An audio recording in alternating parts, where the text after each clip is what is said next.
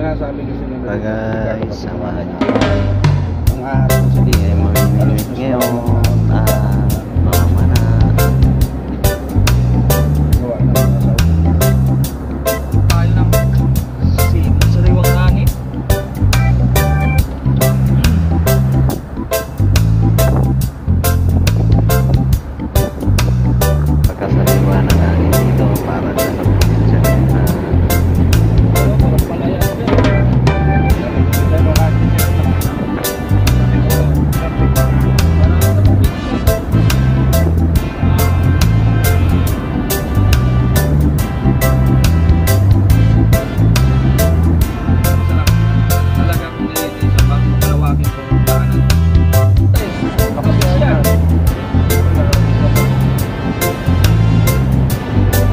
Welcome to province. Masyaallah.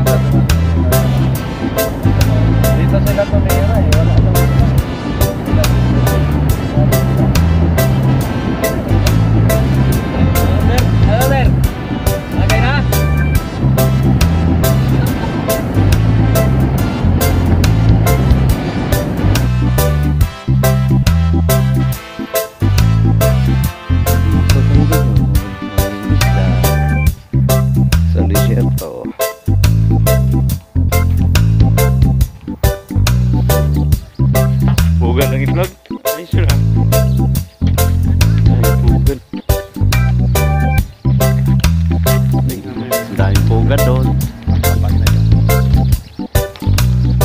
Dati tinirahan namin.